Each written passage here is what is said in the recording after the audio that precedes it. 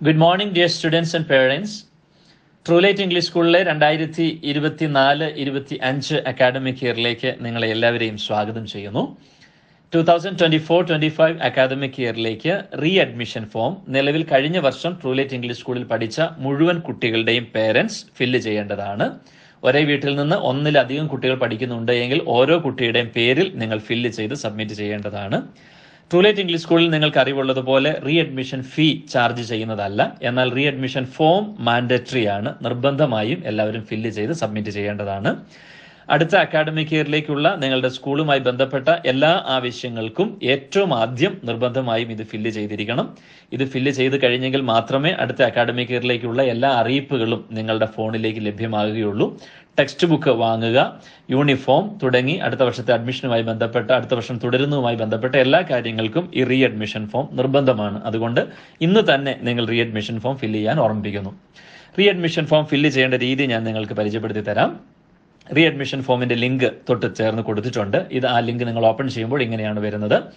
ഇതിൽ name of student കുട്ടിയുടെ പേര് നിങ്ങൾ അവിടെ ടൈപ്പ് ചെയ്യുക. കുട്ടിയുടെ പേര് ടൈപ്പ് ചെയ്യുമ്പോൾ അക്ഷരത്തെറ്റ് വരാതെ ബർത്ത് സർട്ടിഫിക്കറ്റിലുള്ള പേര് തന്നെ ടൈപ്പ് ചെയ്യാൻ ഓർക്കുക.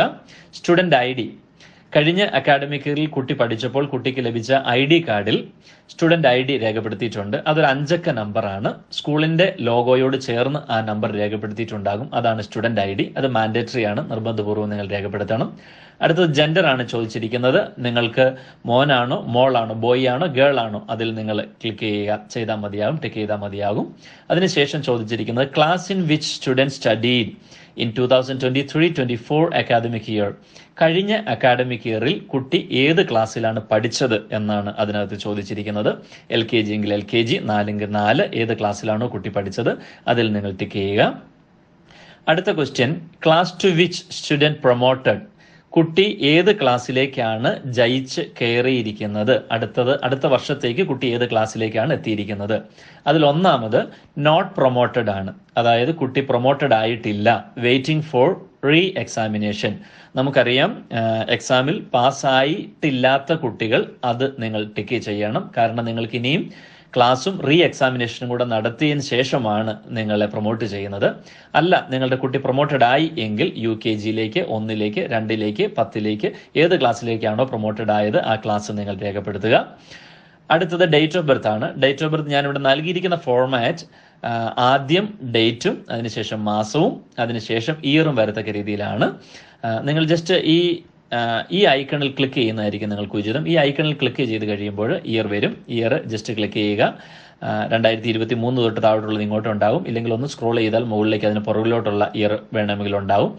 അപ്പോൾ ആ ഇയർ രണ്ടായിരത്തി പതിനെട്ടാണെങ്കിൽ ടു തൗസൻഡ് എയ്റ്റീൻ ക്ലിക്ക് ചെയ്യുക. ഏത് മാസമാണെന്ന് നോക്കി ജൂൺ ആണെങ്കിൽ ജൂൺ ക്ലിക്ക് ചെയ്തു. അതിൽ ഫോർത്തിനാണ് ജനിച്ചതെങ്കിൽ ഫോർത്ത് ക്ലിക്ക് ചെയ്തു. അപ്പം fourth June two thousand eighteen എന്ന് വന്നു. ഇനി താഴെ date of birth in words ചോദിച്ചിരിക്കുന്നു. വാക്കുകളിൽ അത് അതേ ഡേറ്റ് ഓഫ് ബർത്ത് നിങ്ങൾ രേഖപ്പെടുത്തണം. അവിടെ four June two thousand eighteen എന്ന് അക്ഷരത്തിൽ എഴുതുകയാണ് വേണ്ടത്. പ്ലേസ് ഓഫ് ബർത്ത് കുട്ടി ജനിച്ച സ്ഥലത്തിന്റെ പേരാണ് ചോദിച്ചിരിക്കുന്നത്. അത് രേഖപ്പെടുത്തുക. റിലീജിയൻ ക്രിസ്ത്യൻ ആണോ ഹിന്ദു ആണോ മുസ്ലിം ആണോ മറ്റേതെങ്കിലും റിലീജിയൻ ആണോ മറ്റേതെങ്കിലും ആണെങ്കിൽ അതർ ഞങ്ങൾ രേഖപ്പെടുത്തുക. അല്ല റിലീജിയൻ ഇല്ല എങ്കിൽ നോ റിലീജിയൻ എന്നതിൽ രേഖപ്പെടുത്തുക. അടുത്ത കാസ്റ്റ് അത് മാൻഡേറ്ററി അല്ല. മീൻസ് ബാക്കി മാൻഡേറ്ററി ആയതിനെല്ലാം ഈ റിലീജിയന് ശേഷം നിങ്ങളുടെ ചുമന്ന മാർക്ക് കണ്ടിട്ടുണ്ടാകും ഒരു സ്റ്റാർ ഇത് കാസ്റ്റ് മാൻഡേറ്ററി അല്ല. നിങ്ങൾക്ക് ഒരു സബ് കാസ്റ്റ് ഉണ്ട് എങ്കിൽ ആ കാസ്റ്റ് ഏതാണെന്ന് രേഖപ്പെടുത്തുക. ആധാർ കാർഡ് നമ്പർ അത് മാൻഡേറ്ററി ആയിട്ട് നിങ്ങൾ രേഖപ്പെടുത്തേണ്ടതാണ്. ആധാർ കാർഡ് നമ്പർ ലഭ്യമല്ല എങ്കിൽ നോട്ട് അവൈലബിൾ എന്ന് അവിടെ എഴുതി വെക്കണം. ആധാർ കാർഡ് ഇതുവരെ നിങ്ങൾക്ക് ലഭിച്ചിട്ടില്ല എങ്കിൽ കുട്ടിക്ക് ലഭിച്ചിട്ടില്ല എങ്കിൽ കുട്ടിയുടെ ആധാർ കാർഡാണ് ചോദിച്ചിട്ടുള്ളത്. Whether the school transportation required school bus സൗകര്യം ആവശ്യമുണ്ടോ ഉണ്ട് എങ്കിൽ യെസ് രേഖപ്പെടുത്തുക വേണ്ട എങ്കിൽ നോ രേഖപ്പെടുത്തുക. അടുത്ത ക്വസ്റ്റ്യൻ നിർബന്ധപൂർവം പൂരിപ്പിക്കേണ്ടതല്ല. അത് തൊട്ട് മുകളിലത്തെ ക്വസ്റ്റ്യൻ യെസ് ആണ് പൂരിപ്പിച്ചതെങ്കിൽ മാത്രമാണ് അടുത്തത് പൂരിപ്പിക്കേണ്ടത്. മെൻഷൻ ദ പ്ലേസ് സ്കൂൾ ട്രാൻസ്പോർട്ടേഷന് നിങ്ങളുടെ കുട്ടി സ്കൂൾ ബസ്സിൽ കയറുന്ന സ്ഥലം ഏത്? അവിടെ ആ സ്ഥലത്തിന്റെ പേരാണ് മെൻഷൻ ചെയ്യേണ്ടത്. അത് കുറച്ച് വിശദമായിട്ട് എഴുതണമെങ്കിൽ അവിടെ വിശദമായിട്ട് നിങ്ങൾക്ക് രേഖപ്പെടുത്താം. അടുത്ത ഫാദേഴ്സ് ഫുൾ നെയിം കുട്ടിയുടെ പിതാവിന്റെ പൂർണ പേര് രേഖപ്പെടുത്തുക. മദേഴ്സ് ഫുൾ നെയിം കുട്ടിയുടെ മാതാവിന്റെ പേര് പൂർണമായി രേഖപ്പെടുത്തുക. ഫാദേഴ്സ് കോൺടാക്ട് നമ്പർ കുട്ടിയുടെ പിതാവിന്റെ കോൺടാക്ട് നമ്പർ നിങ്ങൾ രേഖപ്പെടുത്തുക. മദേഴ്സ് കോൺടാക്ട് നമ്പർ രേഖപ്പെടുത്തുക. രണ്ടുപേർക്കും ഫോൺ ഇല്ല എങ്കിൽ ഒരേ നമ്പർ തന്നെ രണ്ടിടത്തും രേഖപ്പെടുത്തിയാൽ മതിയാകും. പേരന്റ് ഇമെയിൽ ഐ ഡി പേരന്റിന്റെ അമ്മയുടെയോ അച്ഛന്റെയോ രണ്ടുപേരിൽ ആരുടെയെങ്കിലും ഒരാളുടെ ഇമെയിൽ ഐ ഡി നിങ്ങൾ അവിടെ രേഖപ്പെടുത്തുക.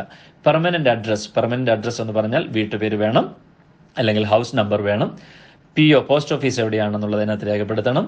പ്ലസ് നിങ്ങളുടെ ജില്ല രേഖപ്പെടുത്തണം. പിൻകോഡ് സഹിതം നിങ്ങൾ രേഖപ്പെടുത്തണം. അടുത്തത് അഡ്മിഷൻ നമ്പറാണ് അഡ്മിഷൻ നമ്പറും ഒന്നാം ക്ലാസ് മുതൽ മുകളിലേക്കുള്ള കുട്ടികളുടെ ഐ ഡി കാർഡിൽ അഡ്മിഷൻ നമ്പർ രേഖപ്പെടുത്തിയിട്ടുണ്ട്. L K G U K ജിയിൽ കഴിഞ്ഞ വർഷം പഠിച്ച കുട്ടികളുടെ ഐ ഡി കാർഡിൽ അഡ്മിഷൻ നമ്പർ രേഖപ്പെടുത്തിയിട്ടില്ല. അഡ്മിഷൻ നമ്പർ രേഖപ്പെടുത്തിയിട്ടില്ലാത്ത കുട്ടികൾ അവിടെ നോട്ട് അവൈലബിൾ എന്ന് എഴുതണം. നിങ്ങളുടെ ഐ ഡി കാർഡിൽ നോക്കി അഡ്മിഷൻ നമ്പർ ലഭ്യമാകുന്ന കുട്ടികൾ അഡ്മിഷൻ നമ്പർ അവിടെ എഴുതണം. Blood group.